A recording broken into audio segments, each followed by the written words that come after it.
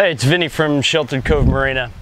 We just concluded Saturday of the 2019 Atlantic City Boat Show.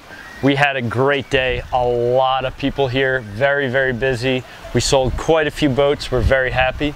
Um, but we still have some 2019 leftovers that you guys gotta come by tomorrow and check out. Incredible deals we still have. Uh, plus we have our 2020 uh, ready in stock. The time is now, it's fall.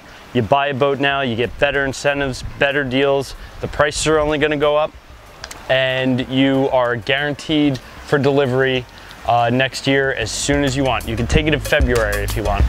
So uh, come check us out tomorrow. We're excited again for tomorrow and uh, we'll see you here.